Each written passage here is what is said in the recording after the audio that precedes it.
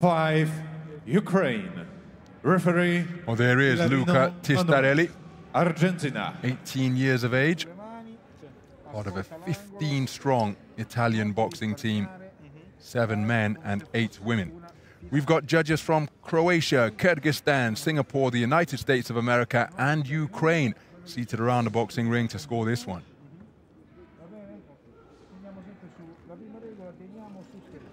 Vedere niente. Muove il tronco.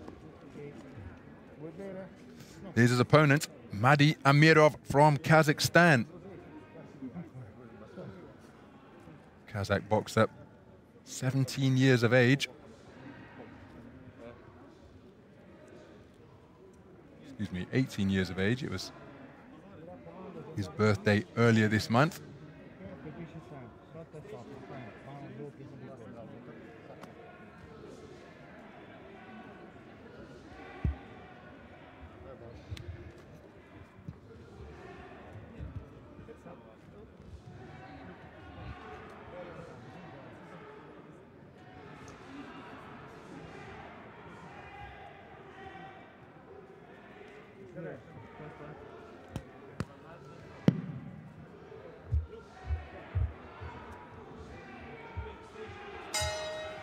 Round one. So we're underway then. 91 kilogram heavyweight action between boxers from Italy and Kazakhstan. The boxer wearing red is Luca Tistarelli. Tistarelli, the 18-year-old. Facing off against a fellow 18-year-old. That is the boxer in blue who comes in with continental credentials, having claimed Asian bronze in the Junior Boxing Championships back in 2019. Here we are at the youth level, almost immediately. Running repairs required to the head guard of the boxer in red. Repeated right hand success for Amirov. Oh, and then he turns through a half hook, half uppercut with the left hand, which caught Tistarelli on his chin. Tistarelli with a right hand success, catching the advancing boxer in blue. Good use of the feet to close the distance and land that right hand from Amirov.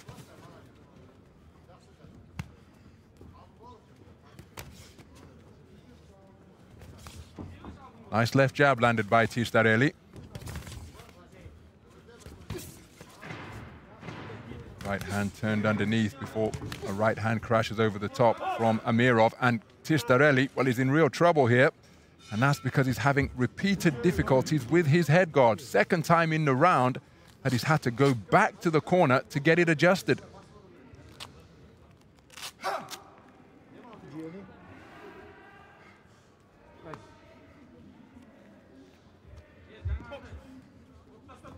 So the action resumes as we approach the midpoint. Right hand targeted once again by Amirov.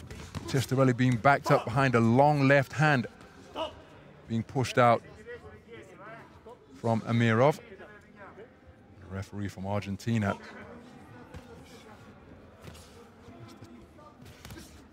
Talking to Amirov about not heeding instructions.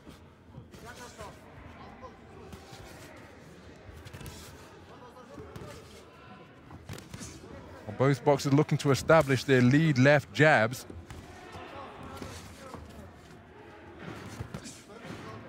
Far more movement coming from the boxer in blue. Circling around, generally to his left, circling around Tistarelli. Could be walking on to the right hand of the boxer in red, but he's edging in and out as well, closing and increasing the distance between he and his opponent.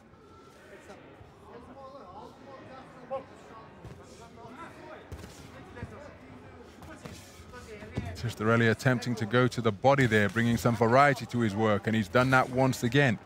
Because previously, on about the preceding five or six attempts, it was an attempt to left-right to the head of the man in blue, and the two men were just cancelling one another out. But again, persisting with that combination is Amirov, and his, he did have success with it. Oh, beautiful right hand, followed by a left from Amirov. It was a One, two, three, left, right, left combination. But that could well be the final admonishment before a warning is issued in the direction of Amirov, not listening to instructions during the course of the opening round. So, 10 is in favor of the man in blue for four of the judges, one of them to the tune of 10-8. Tistarelli taking it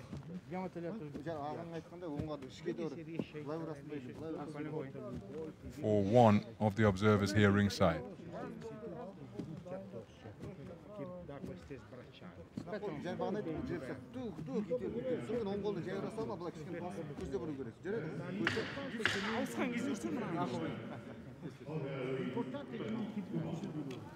Tieni sempre le mani e passa sotto con le, con le cose. Давай. Second round. Э, стоп, танки норма. Into the second round then.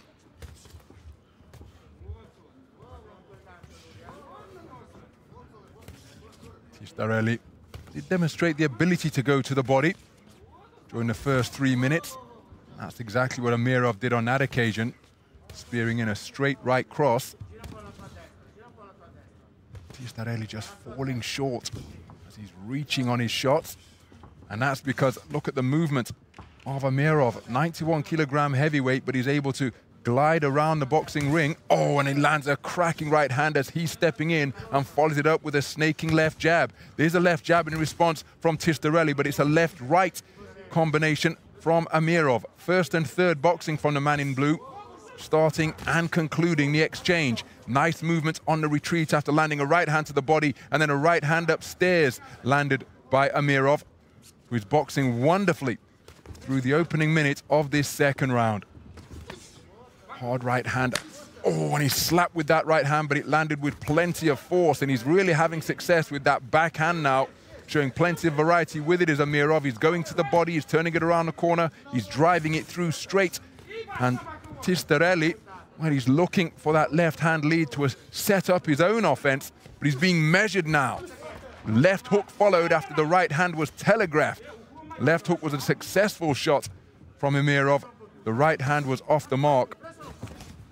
It was easily evaded. Good shots to the body from Tistarelli.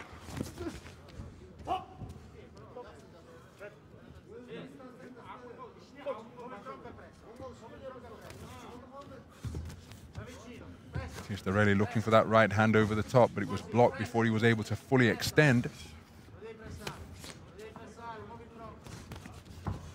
Three-shot combination was short of the mark by Tistarelli.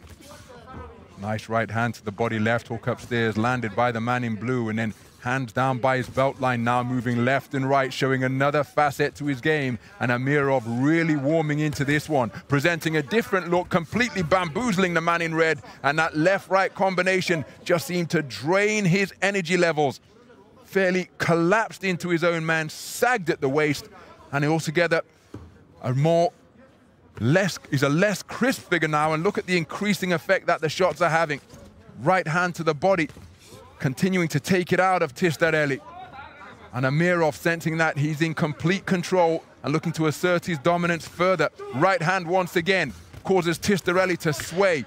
Gamely he bites down on his gum shield and tries to come back with his own offense. But Amirov really warming into this one as we progress through the second round taking it out of Tistarelli who went through a torrid three minutes, particularly in the final half of that second round. Diamo, diamo, dunque, dunque, Testa lì. dunque. Allora, pressalo. Non lasciarla lunga. And there's confirmation as to just how dominant it was 10 8 for two of the five scoring judges. And remember, in AIBA boxing, that doesn't necessarily mean that you've put your man on the floor, it just means that you are a clear winner. And I don't think there's any doubt that Amirov was a clear winner in that second three minute frame, boxing beautifully, changing his look, changing his tempo. But the end result was the same, putting Tistarelli onto the end of punches.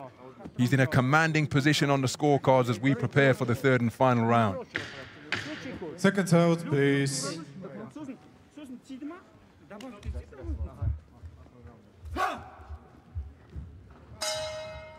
Round three. So Amirov with his familiar war cry. As we begin the third and final round, Tistarelli appearing more energetic after that minute's intermission. Interestingly, he elects to remain standing up. Just as the 1968 Olympic heavyweight champion George Foreman did on his return to boxing after that 10-year hiatus.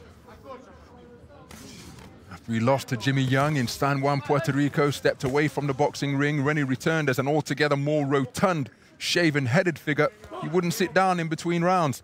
And of course, he completed that remarkable return to the ring by claiming the heavyweight championship of the world for the second time in his 40s. Like so many all-time great boxers, the world first getting a glimpse of them in the unpaid code of AIBA-style boxing. George Foreman's coming out party in Mexico City Olympic Games in 1968. So who knows which of these will go on to achieve similar legendary status during the course of their boxing careers. All of these athletes, the men and women here, still teenagers, so much promise to be fulfilled. Make no mistake, they're competitive individuals as well, and they want nothing more than to earn a podium place on the global stage here in Kielce 2021.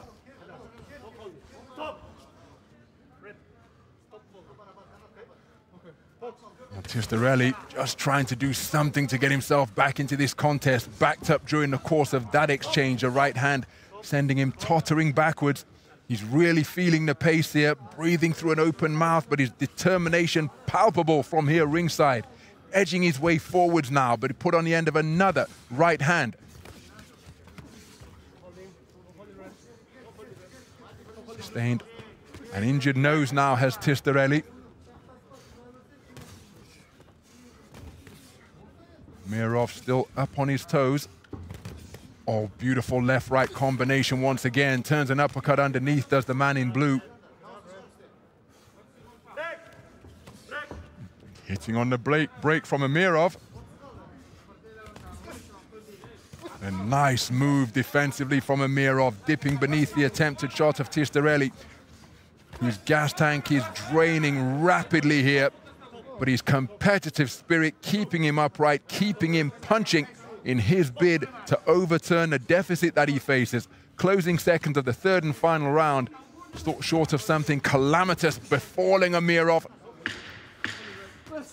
Well, it looks as though it's going to be he who will go through as a unanimous points decision victor through to the second preliminary round of the heavyweight division. What a terrific performance by Madi Amirov the boxer from Kazakhstan came in with those continental credentials under his belt. And my goodness, didn't he demonstrate why he stood on the podium at the continental level of competition in the Asian Championships. Very good display indeed in the second round in particular.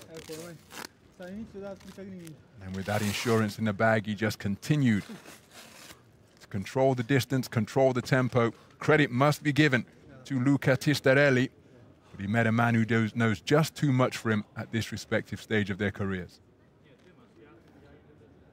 Ladies and gentlemen, the winner of this bout by unanimous decision is the boxer from the blue corner, Amirov Madi, Kazakhstan. So Madi Amirov, a Kazakh boxer with a beautiful display of boxing showed so many sides to his game during the course of that three three-minute round bout. He goes through to the next round, and we'll see him on the 17th of April, where he'll face off against the man from Jordan who has had a bye through to the round of 16. That's how he did it. Dominant display from the Kazakh boxer, Luca Tistarelli, unable to advance, and the Azzurri rep